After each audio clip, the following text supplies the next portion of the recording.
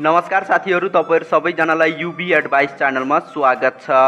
साथीहरू यदि तपाईँहरूले आफ्नो मोबाइल फोनमा रातिमा युट्युब चलाउनुहुन्छ भने आजको यो भिडियो चाहिँ तपाईँहरूको लागि धेरै नै महत्त्वपूर्ण रहेको छ।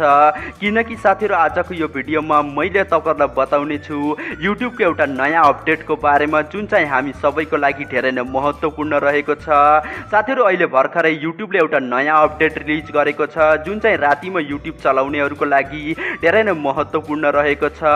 यदि साथीहरू तपाईँहरूले यो सेटिङको बारेमा जान्न चाहनुहुन्छ भने आजको यो भिडियोलाई लाइक गर्नुहोस् र सँगसँगै आजको यो भिडियोलाई आफ्नो फेसबुक वाट्सएप इमो इन्स्टाग्राम सबै ठाउँमा सेयर गर्नुहोस्। तपाईँहरूलाई यो भिडियोको तलपट्टि एउटा यस्तो सब्सक्राइबको बटन देखिँदैछ। यो सब्सक्राइबको बटनमा एकचोटि टच गर्नुहोस् र सँगसँगै आएको यो घन्टीको आइकनलाई पनि एकचोटि टच गर्नुहोस्। ल त सुरु गरौँ साथीहरू सबैभन्दा पहिला म तपाईँलाई एउटा कुरा भन्न चाहन्छु।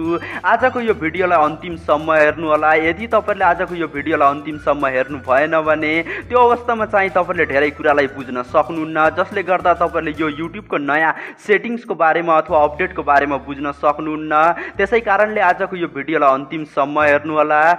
र साथीहरू अब चाहिँ तपाईँहरूले आफ्नो मोबाइलको प्ले स्टोरलाई ओपन गर्नुहोस्।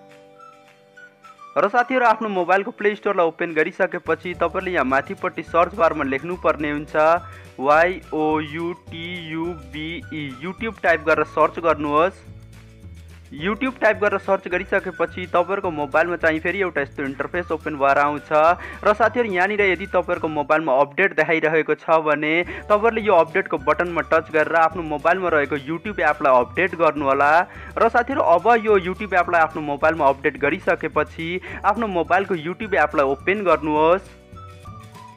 साथीहरू आफ्नो मोबाइलको युट्युबलाई ओपन गरिसकेपछि तपाईँहरूको मोबाइलमा एउटा यस्तो इन्टरफेस ओपन भएर आउँछ र यहाँ माथिपट्टि तपाईँहरूले देख्न सक्नुहुन्छ मान्छेको आइकन यो मान्छेको आइकनमा एकचोटि टच गर्नुहोस्।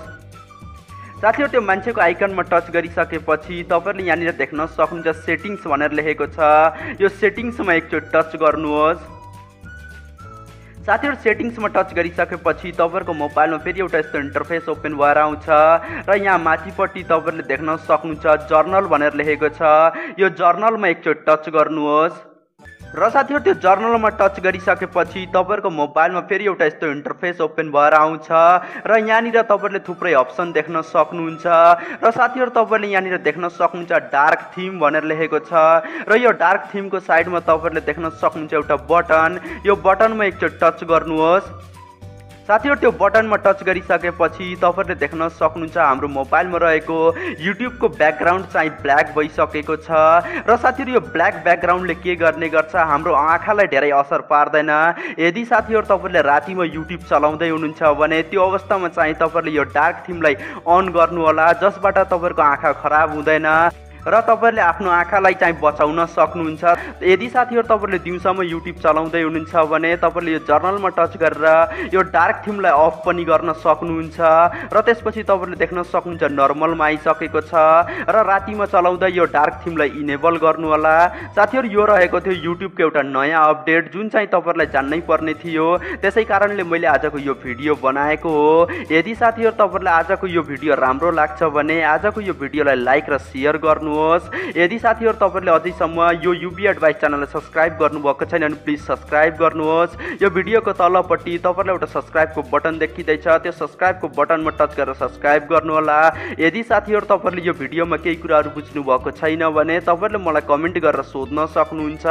हस्त साथीहरू फेरि अर्को भिडियोमा भेटौँला।